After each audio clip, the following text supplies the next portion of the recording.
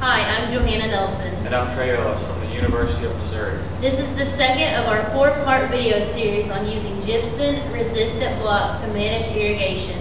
In this segment, we will illustrate installing sensors in the field. Start by soaking the sensors overnight. Always install gypsum blocks wet. Most farmers install soil moisture sensors at two or three depths to obtain representative moisture readings from the effective crop rooting zone.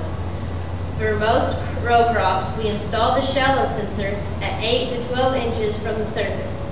The deepest sensor is usually placed 18 to 24 inches. For watermark sensors, make a 7 8 inch hole with an auger probe or pipe. Angle the hole to prevent rain or irrigation water from flowing down the holes. Now we will fill the bottom of the hole with a thick slurry made of soil removed from the water in the hole. Then firmly push the sensor down into the mud in the bottom of the hole. We'll cover it up and to secure the pipe in the ground. Next, we'll use the Delmhorst sensors by making the hole one and a half inches to accumulate the larger pipe size.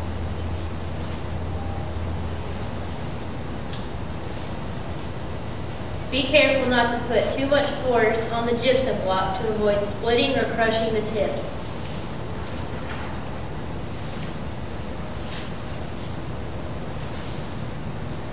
Next, we will backfill the hole so the sensors are buried.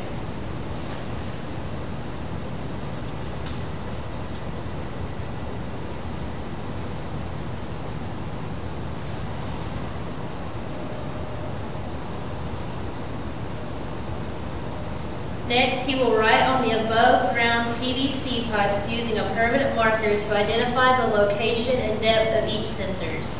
These will be placed about 8 inches into the ground.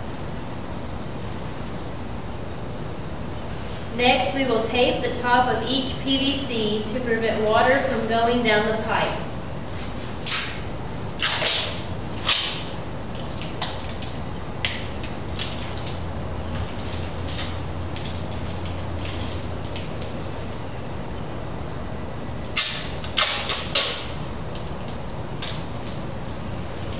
Be sure wires are easy to access but not in the way of farm equipment. In our next video, we will show you how to read and interpret gypsum block sensors.